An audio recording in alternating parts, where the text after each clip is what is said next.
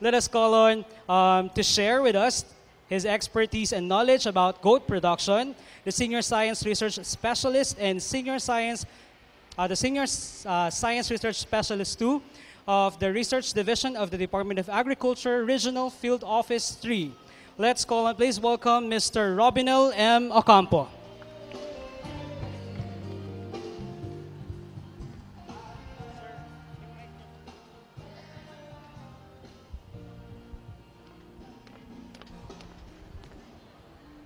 Yes, uh, good afternoon po sa ating lahat. Gising pa po ba tayo? Sino na po ang nag-aalaga ng kambing sa atin dito? Mukhang kokonti po yata. Sino po yung mga student ng CLSU? Wow, ang dami. So, alam ko po na kayo po ay nakakapunta na sa Small Ruminant Center ng inyong eskwelahan. Karamihan po dito ay mga farmers po ng rice. Tama po? So, ang ibabahagi ko po ngayon sa inyo ay patungkol po sa practical goat racing. Kami po sa Sambales, sa station po, sa research station po ako ng Department of Agriculture, nagme-maintain po kami ng mga kambing. So ang ibabahagi ko po sa inyo ngayon, yung mga recommended production strategies na ginagawa din namin sa station. At nagkakaroon din po kami ng mga proyekto sa mga magsasaka doon na pinapatupad namin sa kanila yung mga technologies. Actually, mga mature technologies na po ito. So sana po uh, marami po kayong matutunan sa ating talakayan. So let's start po. So sabi, goats are commonly known as poor man's cow. Sino po ang nakakaalam? Bakit tinatawag nating poor man's cow ang kambing? Yung mga student ng CLSU nagtataas ng kamay. Sige nga po. Sige nga po, ano po, ano po ang dahilan bakit nat tinatawag natin poor man's cow? Sige po.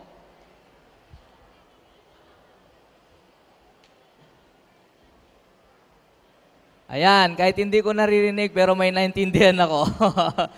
Yan, sabi niya, uh, walang kakayahan na magalaga noon, nung unang panahon ng mga tao, ng isang baka o isang kalabaw para magbigay sa kanila ng gatas. So, ang kanilang inaalagaan ay kambing na nagbibigay sa kanila ng gatas noon. Okay po? So, ngayon, ang tawag natin sa kambing, hindi na poor man's cow. Sila ay tinatawag na nating living asset. No? Dahil ang kambing daw po ay mahal na ngayon, kaya tinatawag din nilang gold.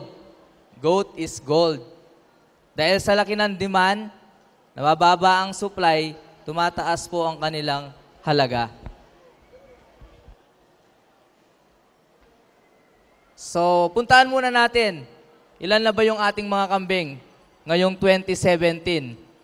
Mukhang malabo yata.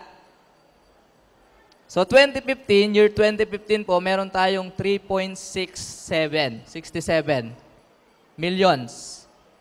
Year 2016 po, uh, bumaba po, no? Naging 3.66 na lang. But nung 2017, naging 3.71. Tama? 3.7 million. So karamihan po, nung 3.7 na yon, ang gagaling pa lang sa backyard. Napakaliit pa lang ng porsyento sa commercial farming ng goat. So ibig sabihin, nasa backyard pa lang. Sorry. So, ang, ang, ang distribution po nila o ang share ng Region 3 ang Central Luzon ay nasa 9.47 pa lang. So nangunguna ang Ilocos Region at pumapangalawa ang Negros Island. So napakakonti lang ng share natin. Pagdating po sa presyo, year 2014, nasa 1, 113.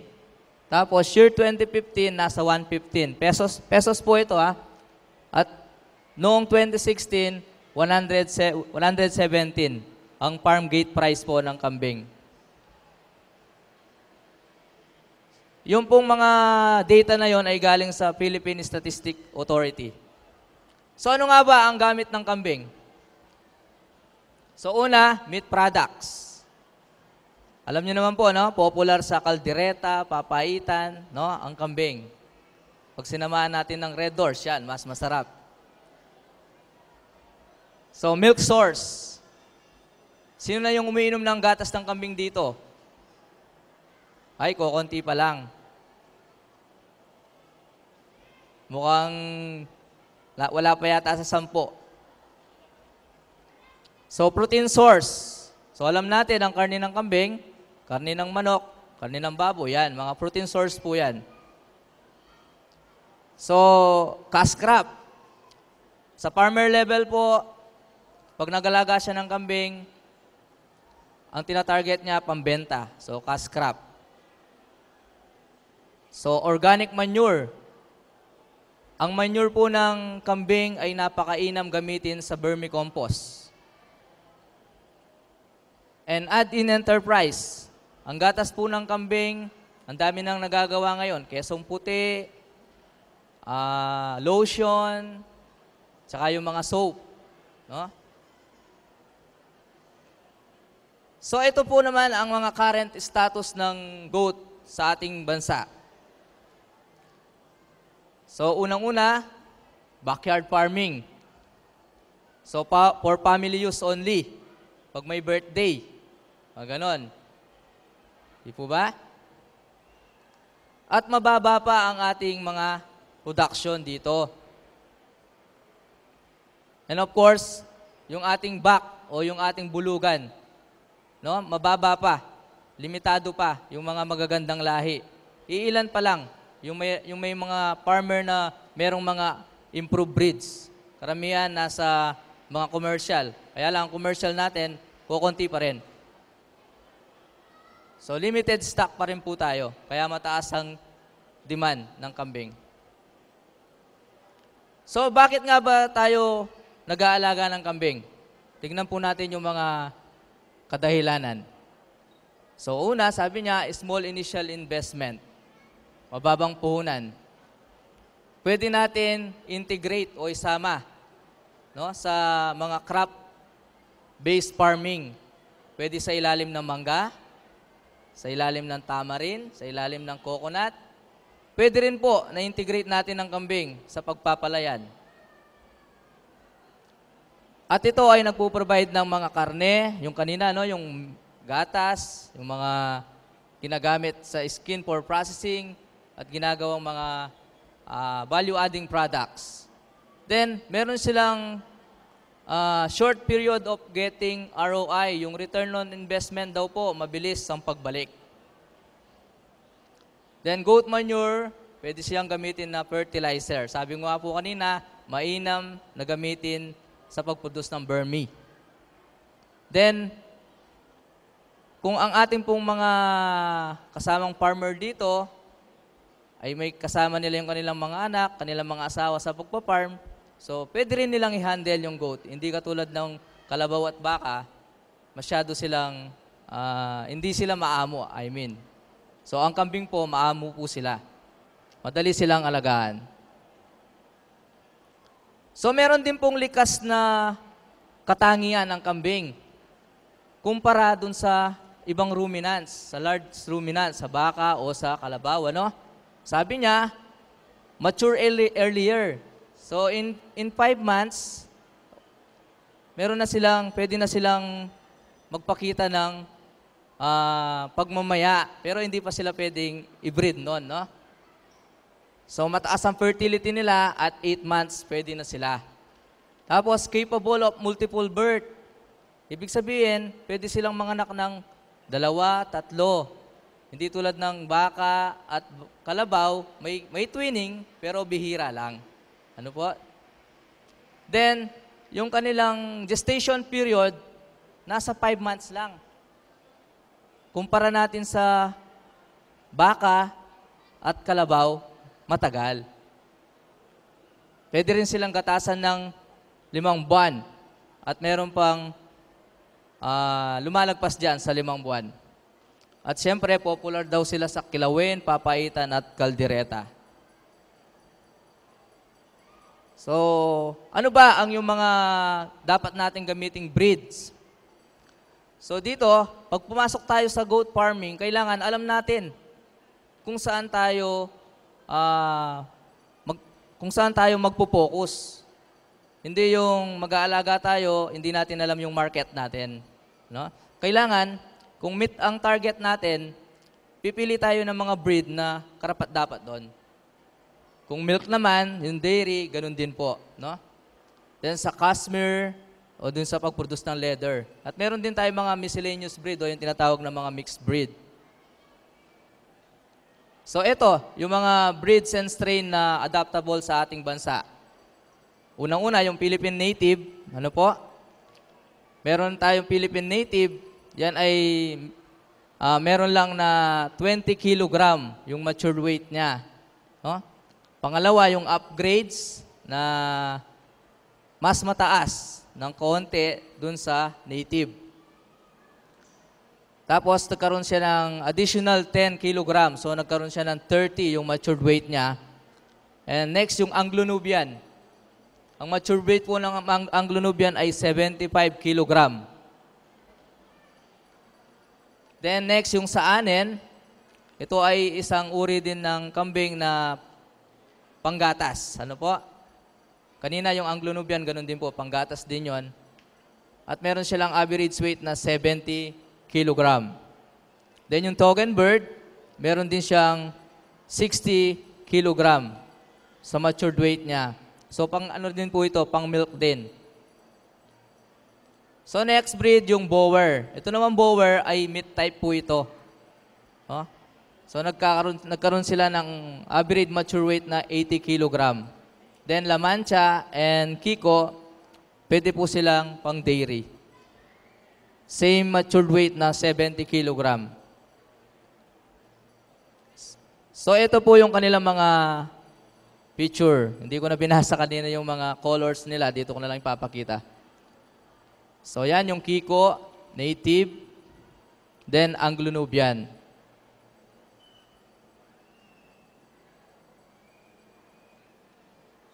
Yan, token bird. And the La Mancha. Ang La Mancha po, ito yung karaniwang kambing na maikli yung tenga. Ha?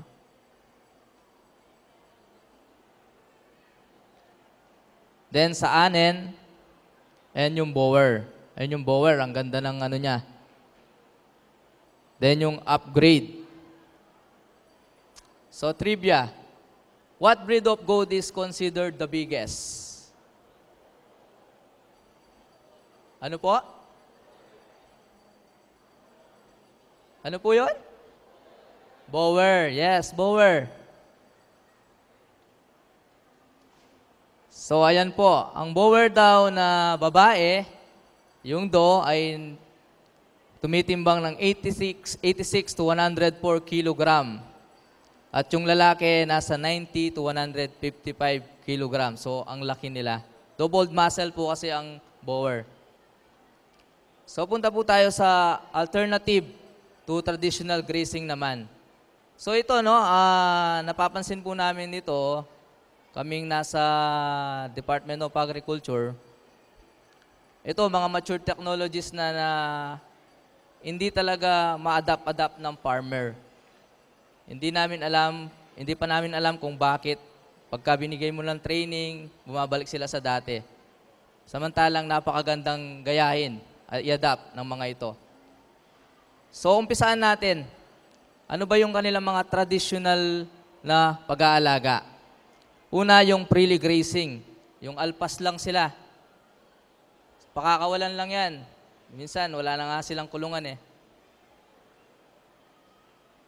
So, sabi niya, yung freely grazing, ah, yun nga, ilalabas lang sila, then napakaliit ng management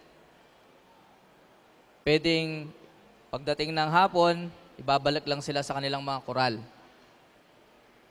Then yung tethering, yung pagsusoga. So nangangailangan lang tayo dito ng ah, tali na umaabot ng 6 to 10 meter long. At sabi dito, tinatransfer daw twice or thrice a day, pero hindi naman ginagawa ng mga farmer yon.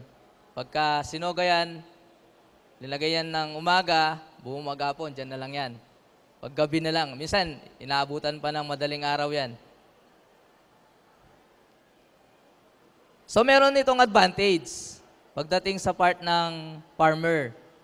So less labor nga naman.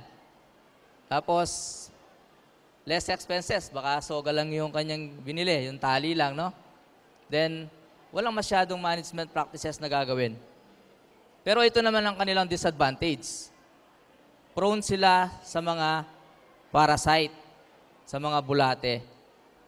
Karaniwan, yun yung mga kinamamatay ng mga kambing. Possible factor related to increase in worm load. Baka may nakita na po kayo, ah, kambing na lalaki, 3 months, yung tiyan niya, ang laki. Parang buntis. Lalaki, ha?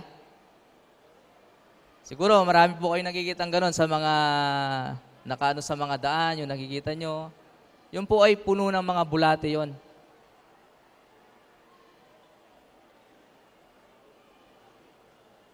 So disadvantage, madali silang manakaw, mawala. Destructive sila. Ito yung palaging problema sa kambing. Nagtanim ng gulay si kapitbahay, pupuntahan ng kambing ng kapitbahay, kaya nag-aaway sila. No? Destructive. Limited growth rate, dahil wala silang ganong binibigay na pagkain, kung alin lang yung available doon sa communal pasture, yun lang yung nakakain ng kambing, kaya mababa ang kanilang paglaki. And mataas yung mga panghihina at yung mga namamatay. No? Maraming namamatay. So, option number one, hindi, sandali. Ito, ito pala yung mga alternative, no? Na pamamaraan pagdating sa pag-aalaga natin ng kambing. Una, yung partial confinement or semi-intensive. Pangalawa po, yung pure or complete o yung total na walang pag-grace, nakakulong lang sila sa kanilang buong buhay. No? Tapos yung option number three, yung rapid rotational grazing. Then yung option number four, yung integration. So number one, option, partial confinement. So pagka hindi umuulan, inaaya, na, inaaya natin ng 2 to 3 hours yan, nasa labas, kumakain. No? Tapos pagka lapit ng hapon, ibabalik natin sila sa kulungan at doon ay bibigyan natin ng mga pagkain na naman. No? So ayan po. Then ano yung workable strategies dito? Avoidance of early grazing. So ang kambing po, hindi natin kailangang ialpas siya na maaga. Kasi makakakuha sila ng mga bulate. Ah. Kailangan nasa around 9 a.m. pataas. Kapag tuyo na yung mga amog sa damo. So, pwede rin natin gawin yung rapid rotational grazing. Mamaya, i-emphasize po natin yan. Then, limitation of access to communal pasture. Alam po natin, communal pasture, ang dami ng mga ah, hayop dyan na kumakain, tumatae.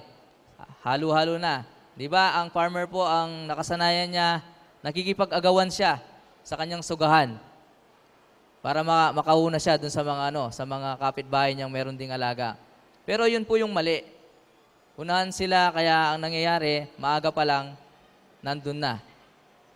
Ang nangyayari po, mga sakit, mga bulate ang nakukuha ng ating mga alagang kambing. So pwede rin nating gamitin yung ating mga forage grasses no? at mga legumes. Sila po ay mga pre sa worm. So ayan po. So option number two, pure confinement o zero grazing. So dito po, ang ating mga kambing, sa buong taon, pinagdadala lang natin ng pagkain yan. Magtatanim tayo ng mga forage, tapos dinadala dun sa kanila. So cut and carry system o stall feeding ang tinatawag po natin doon. So advantage, during wet season, hindi sila nababasa. Nandun lang sila sa kulungan.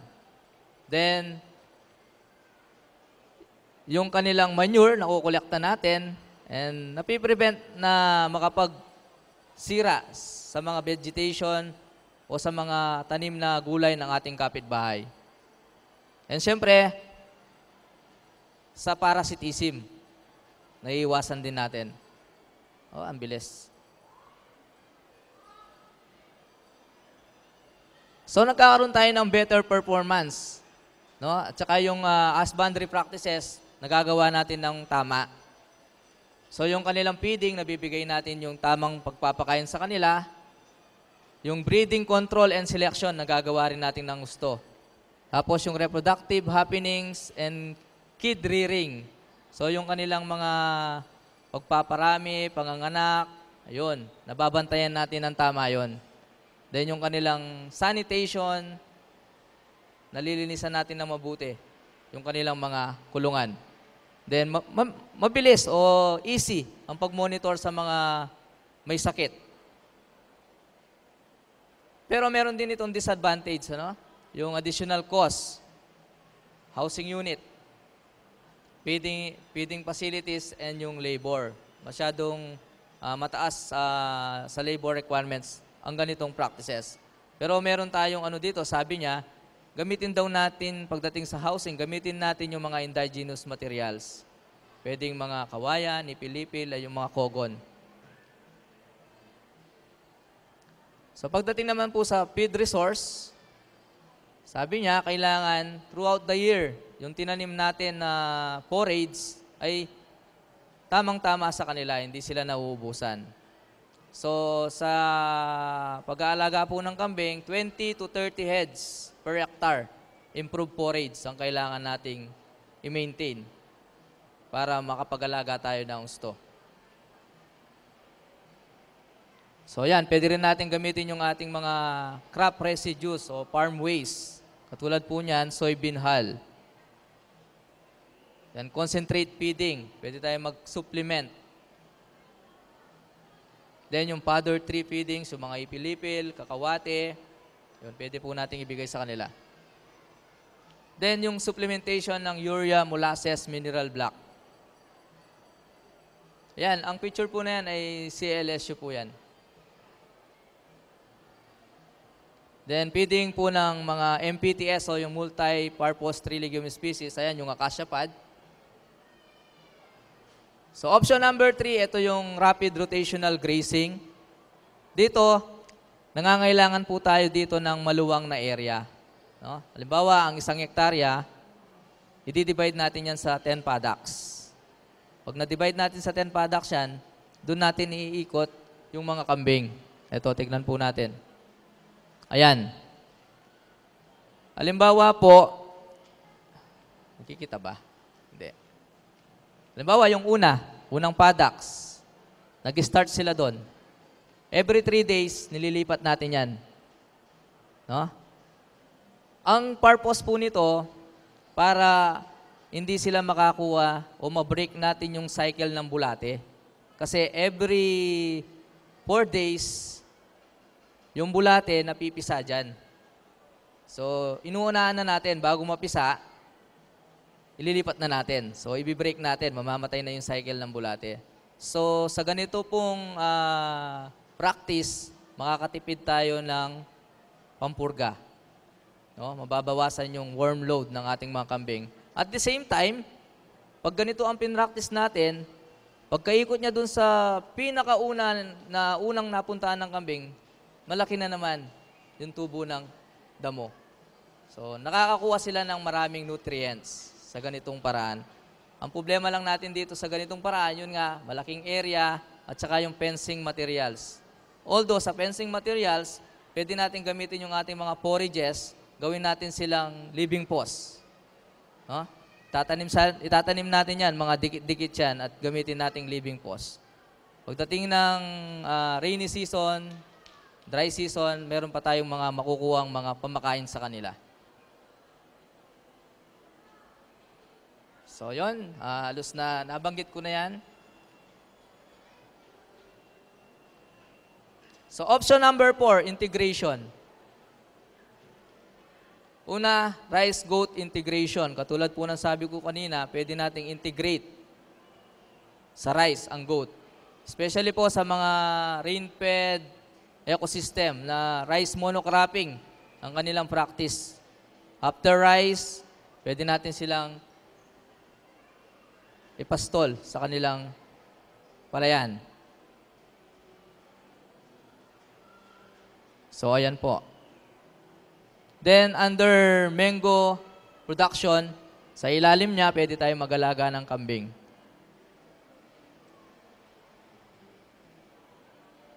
Then, sa fish pan. So, ayan. Ang integration po, pwede siyang intensive, pwede siyang extensive or semi-intensive. So, yung mga undergot na plantation, yun yung magsisilbing pamakain sa kanila. So punta po tayo sa breeding system naman. Ano ba yung mainam na gamitin na sistema sa pagbibreed sa mga kambing? So meron tayong tinatawag na inbreeding. Ano? Ito yung karaniwang ginagamit o ginagawa ng ating mga farmers ngayon o nung dati pa. So ang inbreeding, ito po yung pagmimate natin ng kambing o pagbibreed natin na magkakamag-anak. Halimbawa po, ah, anak niya, binibreed niya. In- ina niya, binibreed niya. Yung ganon. So, mali po yun. So, meron tayong mga pangit na resulta pag ganon. So, nababawasan po yung animals vigor ng kambing. Tapos, affect growth rate. Then, reduce fertility. And affects offspring viability. So karaniwan po sa ganitong practice, mahina po ang kinalalabasan ng kanilang mga anak. Tapos ang daming mga abnormalities na lumilitaw. So second uh, breeding system, crossbreeding. So ito po, pag mate nito yung dalawang hindi magkamag-anak. Pwedeng purebred. So may dalawa po itong classification, yung systematic at saka upgrading. Oops.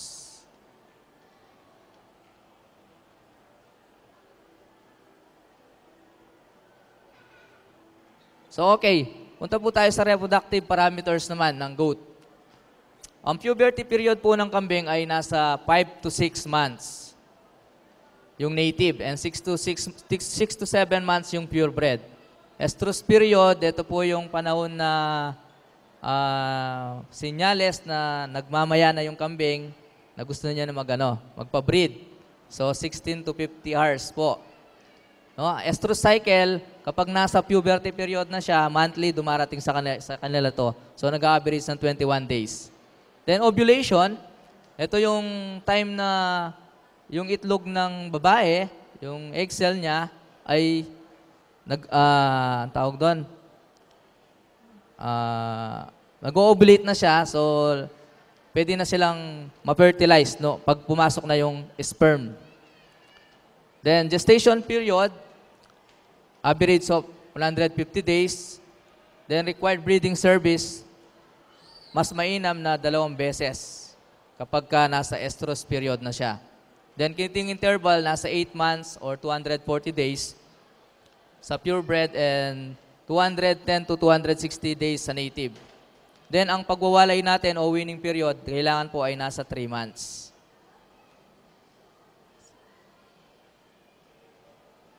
So, yan. Selection of choosing animals. So, kailangan po yan para sa ating pag-aalaga. No?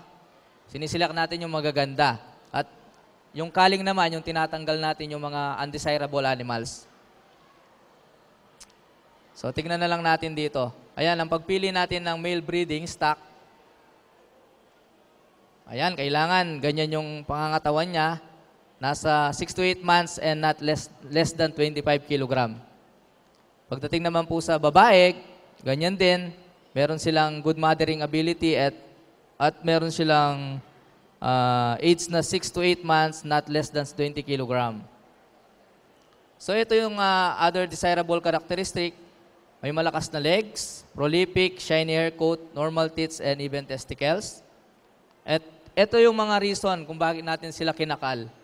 So, overshot and undershot jaw, cryptorchidism, yung isang testicle lang. Then, extra teeth, twisted leg, poor kid size, and poor maternal instinct, poor milkers. So, ayan yung mga pictures.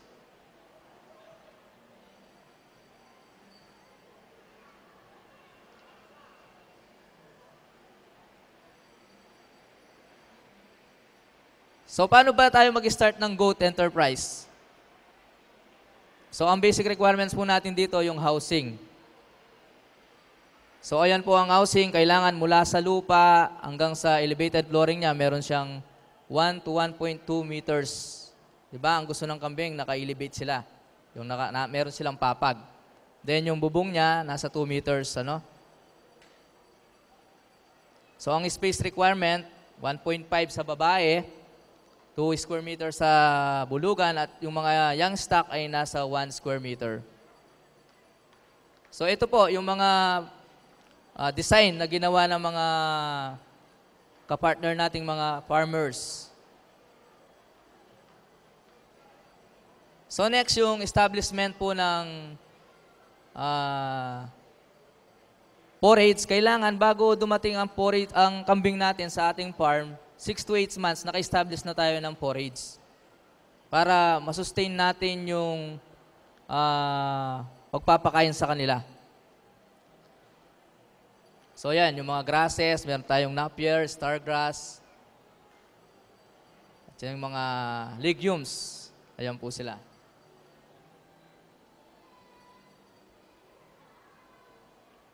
Then, pwede tayo magpakain ng mga byproducts. Then, yung mga crop residues, mga processed feed, yung UTRS o yung urea-treated dry straw, at saka yung burong damo o yung silage. And meron din tayong ah, tinatawag na alternative to traditional health management. No? Kailangan ng kambing natin, pinupurga natin yan. No? Pagka 3 months niya mula pagkapanganak, kailangan napupurga na yan. Then, nire-repeat natin yan quarterly. O yung mga nasa kulungan, dun sa onset ng rainy season, then every month, inuulit natin. Para hindi tayo kumain ng papaitan na may bulate. Yun po yung ano doon. So, yan lang po yung mga karaniwang ginagamit nating dewormer. So, alternative to traditional grazing, sabi ko nga kanina, 9 a.m. kailangan ang pag-alpas natin sa kanila, no? Then, gamit yung mga pamamaraan na yan. Ito, sa alternative to traditional breeding management, ideally po, ang kambing kailangan manganak lang siya ng tatlong beses sa dalawang taon. At kailangan, i-avoid natin yung pagbibreed sa kanila ng February and March para hindi sila manganak ng tag-ulan. Po, iwasan natin kasi onset ng rainy season, maraming namamatay. So bakit nat bakit tayo nag-upgrade po ng kambing? So yung answer eto, to low quality breeders problem. So yun yung problema ng farmer natin. So ito po, ito yung ah, practice kung paano natin i-upgrade yung ating mga kambing, no? So gamit ang upgraded back, i-cross natin sa native. So generation by generation po ang mangyayari. So ayan po. Tingnan niyo po yung native, yung nandoon, yung sa gitna, yung na-upgrade na ng 50%, at yung sa dulo, yung na-upgrade na ng 75%. So di ba napakalayo ng difference nila? So yung goat-based inter- enterprise yan.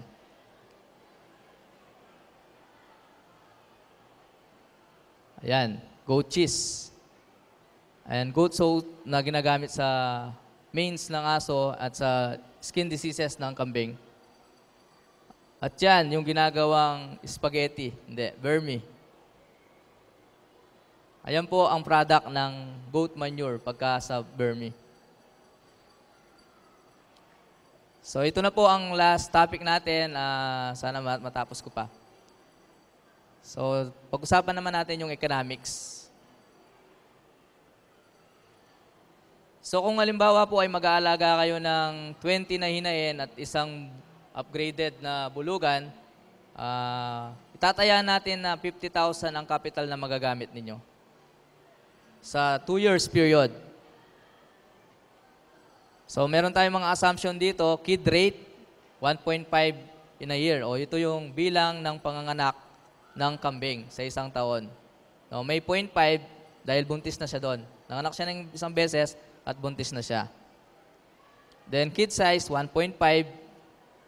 Ito yung dami ng liter o yung kung ilang naipapanganak ng isang kambing. Gestation period, 5 months. Consumption rate, ito yung dami ng kambing na nabuntis. Then average birth weight, 2 kilo. Average monthly weight gain, 2 kilo din. And winning age, 3 months. And harvestable age, o yung marketable age nila and weight, 8 months and 18 kilos. So live weight price natin, sabihin na lang natin 100 peso per kilo.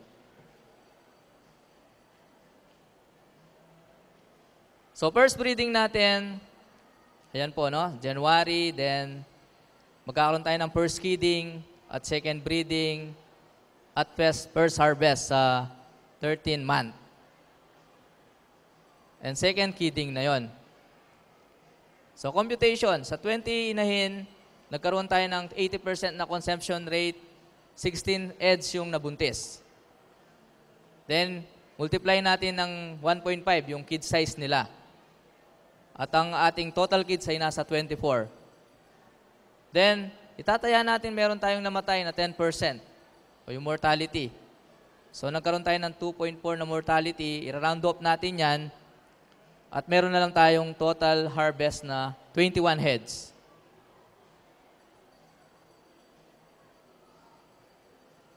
So, uh, ang ating 2 kilos yung average birth weight natin, 8 months old, 8 months, uh, multiply natin ng 2 kilos dun sa uh, average monthly weight gain. So, meron tayong 16 kilos. Tapos plus 2 kilos na average birth weight, kaya meron tayong 18 kilos doon. So multiply natin yun uli ng 100 pesos. So meron tayong 1.8 per head. So 21 heads yung ating na-harvest o yung ating ima-market. So nasa 37,800 ang kikitain. So balik tayo dito. First harvest, 37,800 dahil 24 month ito. In 2 years, magkakaroon tayo ng third breeding and second harvest. So, ulit, 37 ulit ang ating assumption. A total of 75,600. At yung third kidding natin, ayun, nasa 21 months at magkakaroon tayo ng fourth breeding dun sa 24. So, para makuha din natin ang halaga ng ating mga total inventory, ibabalyo din natin. Yan. Yung 18 na hinayin na pregnant, babalyo lang natin ng 3,000 per head. So 54,000 yon Yung ating barako, 10,000 dahil upgraded sila. Then 21 kids, nasa 16,800. So total of 80,800. No, yung inventory natin, 80,800. And then 75,600 yung cash natin. So meron tayong 176,000 uh, 156,400 in total. Pero ito po ay gross income, hindi kasama yung fixed cost natin dito, yung housing, labor, and establishment ng forage. So for summary, before entering into a good enterprise, capacity building is a must. So dapat po, yung mga kagaya po nito, yung mga training. Train your caretaker, the life of your farm. Tama po yon. And before buying goats, sabi ko nga kanina, isang basic requirements natin, ang construct a goat house and plant grasses and legumes. So, kailangan may sipag at tiyaga. So, meron pong money sa goat production, money is high but supply is low. So, yun po, uh, mag-negosyo tayo. Thank you. All right. Thank you, Mr. Ocampo. At this point, we will be entertaining questions from the audience. Yes, sir.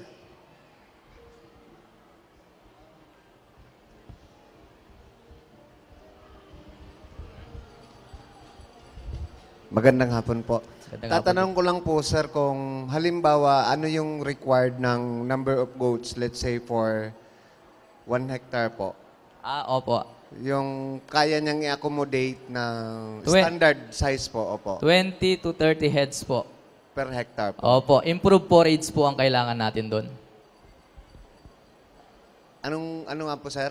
Improve forage po, 20 to 30 heads po ang kailangan natin. Okay. So, pwede po dun yung, yung third ah, mode ng pag-aalaga, yung... Rapid rotational po? Opo, opo. Yes po, pwede po yun. Pwedeng pwede po.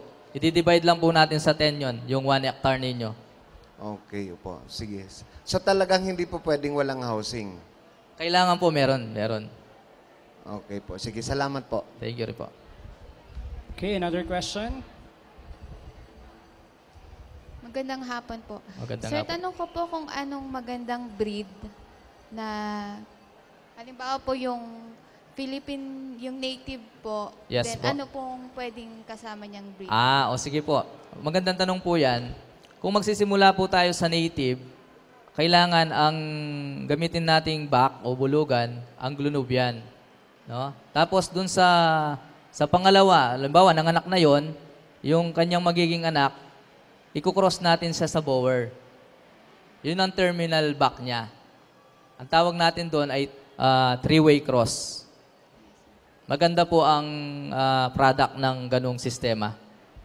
Opo. Sir, kung ang purpose po is for meat, yung pong bower. Opo, opo. Bower.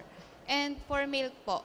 For milk po, meron po tayong Anglo-Nubian, meron tayong Saanen, meron tayong Toggenbird, tsaka Alpine. Ah, thank you, sir. Have, ay sir, si sir po muna, naka-orange.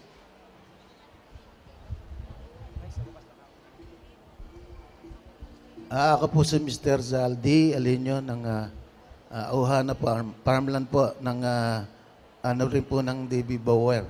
Ngayon po ang katanungan ko, yung po bang ah, sa breeding po, ah, ah, sa control ng breeding, yung Yes bang po. Bower po at ah, what you could recommend as a professional ah, consultant, yung bang sa breeding po ng Bower, sa ano pong pinakamagandang klase na para po maging maganda yung F1. At same time po, yung mga kasunod na katanungan, I hope you won't mind, the second question. Ang hirap po minsan yung mga ah, pagkain po nila rito.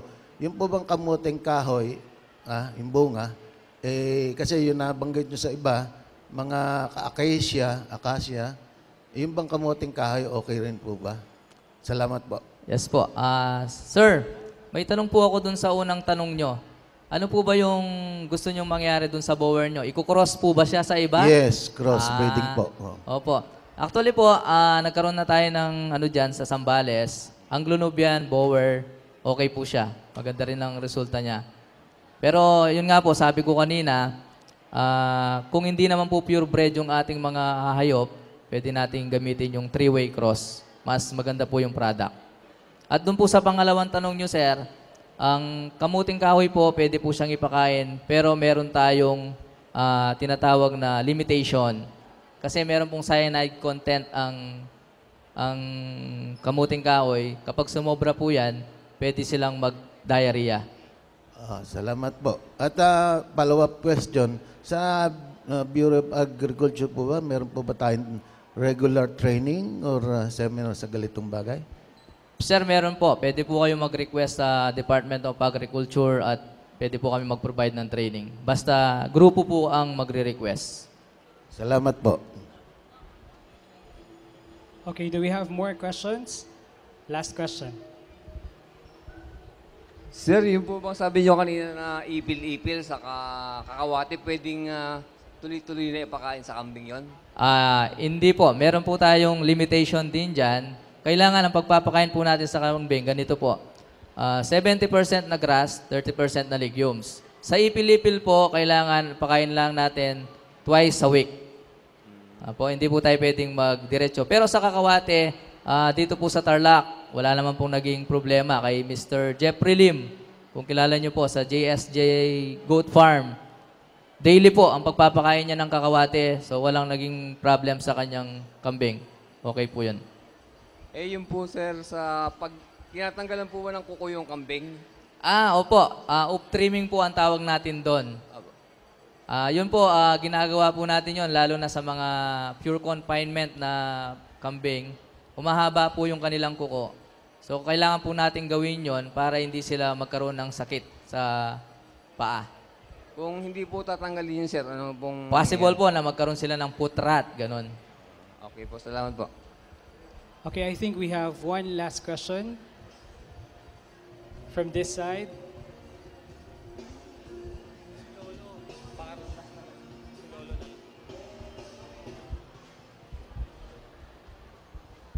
Hello sir, magandang hapon po. Gandang hapon po. Ah sir, ah, marami na pong nagpo-post ngayon ng mga small ah, backyard growers. Ah, kung halimbawa po ba mag-avail ako in, in sa malayong region, may mga certain documents po ba po to i-travel yung ah, kambing? Ay, meron po. Ah, kukunin po natin yan sa ano, Provincial Veterinary Office po ng, ng province. Then, magkakaroon po kayo ng shipping permit na tinatawag. Okay po, so hindi po kailangan na yung small backyard ay meron pang ah, farm permit. Ah, hindi ko po masasagot yan, sir. Basta alam ko lang po yung shipping permit. Baka ibang do- ah, kailangan po ng Office of Provincial Vet naman po yun. Okay po, kasi yung iba po kasi naghahanap pa ng farm permit nung pinanggalingan ng kambing, eh, small Ah. backyard lang po. So, usually po wala silang farm permit. Yung po mga maliliit ang Oo nga po. backyard. So, yun po yung nagiging problema. Pero usually po alam ko yung importante dyan, yung shipping permit. Okay, basta po meron po sa ano sa veterinary Opo, sa meron po. region. Nagpo-provide po sila. Then, hindi naman po ganun lang pagbibigay nila. Titignan muna yung stock na ita-travel. Kasi sisiguraduhin nilang walang sakit po yon. Kasi kapag ka nakita nila ng sakit, di kayo bibigyan ng shipping permit. Ah, okay po, isa pa po. Ah, hindi po usually na normal dito sa Cabanatuan City na marami laging stock ng ah, ah, yung pong panghalo sa pesa, ano, sa concentrate pellets na galing sa coconut. Copra mill po. Copra mill po, yeah. Hindi po siya usual na may binebenta rito. So po kaya pwedeng umabay Pampanga dito po, marami. Sa Pampanga po. Opo, marami po. Yung mga ah, poultry supplies po natin sa Pampanga, meron na po kami nabibili doon. Either po yung mga soya na grain, meron din po sila. Soya, meron din po, meron din. Sige po sir, maraming salamat po. Okay po. One last question.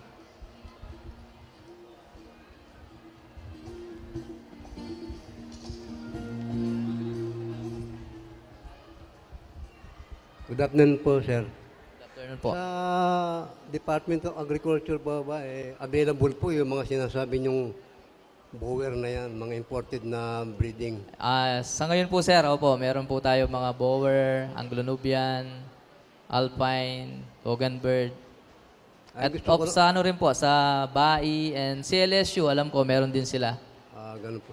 Eh, sa mga halaga naman po kaya, may bibigay bang presyo ng bawat kwan, klase ng Ah, sa breeding amin yan? po, sa Department of Agriculture, hindi po kami nagbibenta. Pero meron po tayong tinatawag na loan program. Kung makakapasa po kayo doon sa program na yon, evaluate po yung request ninyo.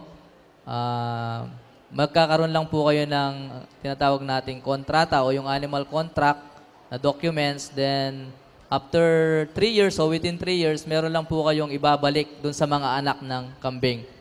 Ah, saan po ba, ma- halimbawa, saan po bang lugar makikita yung mga kambing ng mga imported po yung breeding na Sa Sambales po, sir. Sa station po namin sa Sambales, meron po Wala ganun. po ba rito sa Muñoz? O dito Sa CLSU po, marami pong kambing dyan. Sa Small Ruminant Center. Ah, ganun po. Sige, Opo. salamat po. Okay po. Thank you rin po. Okay, thank you, sir. To award this the certificate of appreciation, may we call in again Miss Veronica Esguerra, Sir Alex Arizabal, and Sir Ian Belyeza.